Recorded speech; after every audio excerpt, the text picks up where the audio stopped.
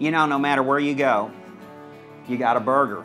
And everybody's burger's better than the next one, but this burger looks phenomenal. Tell the viewers, how in the world did you get this burger to do this? Well, this is our A Bar N Ranch Wagyu burger. Wagyu is the top breed of cows, period, here in the state of Texas.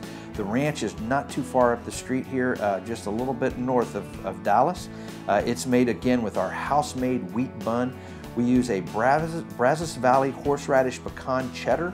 Uh, we do a little heirloom tomato, Dijon mustard, pickled red onion, and arugula to top it off, and it is to die for.